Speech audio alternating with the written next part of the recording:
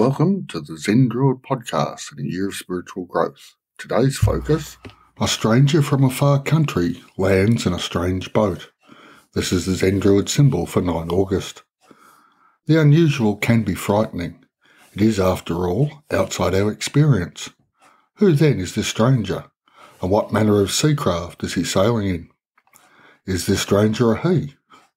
In the ancient Celtic tradition, a stranger arriving is more often revealed as kin long thought dead, who have experienced great change and are therefore not immediately recognisable.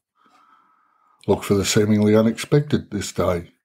Embrace the unusual, for you will be seeing a part of yourself long estranged.